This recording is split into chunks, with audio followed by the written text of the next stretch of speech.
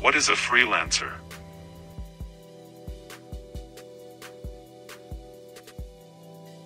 Ninety percent people only watch videos, don't subscribe. Please I request you to subscribe our channel.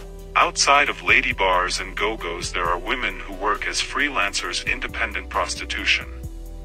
They may hang out in regular bars, in clubs, and even on streets like Beach Road in Pattaya or Sukhumvit Lower Road in Bangkok.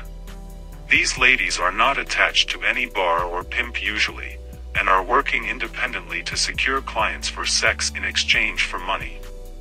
This is your more typical type of prostitution. Quite often tourists encounter such women in nightclubs but are unaware that they are working an angle until much later in the evening when the lady asks about a fee for going home.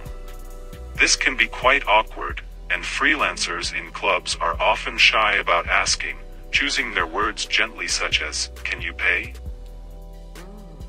Please subscribe and don't forget to press the bell icon to stop missing out on future videos and fantastic information.